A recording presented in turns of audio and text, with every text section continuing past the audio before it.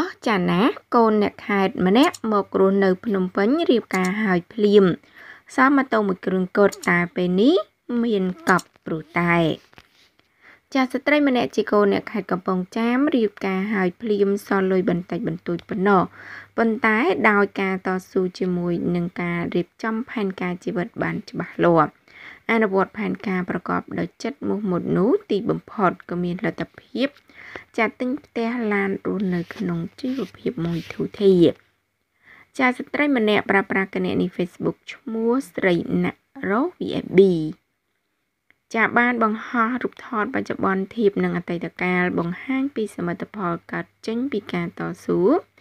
របស់ខ្លួនដូចនេះថាជីវិតពិតរបស់ស្រីណាក់ VS ពង្រិនចារៀបការរួចសល់លុយប្រហែលជា850ដុល្លារបើតាមចាំមកដល់ភ្នំពេញប៉ុន្មានថ្ងៃម៉ែទេមកថាកូនគេយករូបថត ចាកូនគេយករូបថតមកអស់300ដុល្លារជាងទៀតអំបិលប្រហុកហើយស្រីណាអើយការរួចទ្របដែលមានជាប់ខ្លួនគឺនឹងម៉ូតូចាម៉ូតូនឹងមួយគត់ គ្រាន់ដឹកអូនដើរលេងនៅផ្ទះជួលតូចមួយជាមួយបង ជាមួយប្អូនជាមួយមិត្តចាជាមួយមិត្តចែកលុយគ្នាចេញ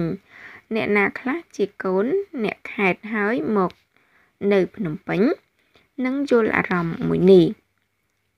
បើថារៀបរាប់មិនអស់ទេ តែគ្រាន់តែចង់ចែករំលែករឿងល្អៗខ្លះៗសម្រាប់ជីវិត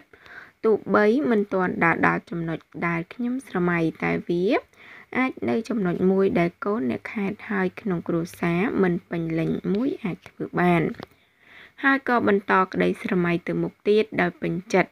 ទំនេរនឹងចាចែករំលែកបទពិសោធន៍ល្អៗឲ្យមិត្តមិត្តទាំងអស់គ្នាណាមិនមែនជាការចាងងាយទេ ដែលចាប់ផ្ដើមពីបាតដៃទទេអាចដើរមកដល់ថ្ងៃនេះតែក៏អរគុណធនាគារដែលតែងតែឲ្យលុយខ្ញុំខ្ចីរហូតមកតាមតម្រូវការកម្មងបានដូចគេជប់ចាអរគុណអ្នកមានគុណបងប្អូនដែលតែងតែឲ្យកម្លាំងចិត្តចំណុចខ្លះខ្លះរបស់ជីវិតស្រីអ្នកផ្ទាល់ចាបានមកពីបទពិសោធន៍ជីវិតនិងការរៀនសូត្រ ចាទី1ត្រូវចេះអភិវឌ្ឍខ្លួនឯងស្គាល់ខ្លួនឯងជានរណា ទី2មានភាពស្មោះត្រង់គ្រប់ពេលវេលា ទី3ខិតខំតស៊ូគ្រប់បញ្ហាដែលកើតមាន ទី4លុបពាក្យខ្ជិលចេញពីខ្លួនឲ្យអស់ទី5ដាក់ផែនការច្បាស់លាស់សម្រាប់ជីវិត ទី6អនុវត្តឲ្យបានខ្ជាប់ខ្ជួន ទី7មានទំនាក់ទំនងល្អជាមួយពិភពខាងក្រៅទី8កុំសន្សំរឿងកុំ ចាសំទោកុំសន្សំរឿងពីមុនមកគិតតដល់បច្ចុប្បន្នទី9កសាងក្តីស្រឡាញ់ឲ្យច្រើនច្រើន តាមដែលអាចធ្វើទៅបាននឹងគ្រប់ពេលទី10រៀនបើកចិត្តឲ្យទូលាយនិងរៀនទទួលយកចំណេះដឹងថ្មីថ្មីរហូត ទី11កុំចង់គំនុំកុំចាំកំហុសចាកុំមើលងាយកុំខឹងកុំរអ៊ូ នៅមានចំណុចជាច្រើនទៀតជោគជ័យគឺស្ថិតលើខ្លួនឯងចូលចាំថាទោះយើង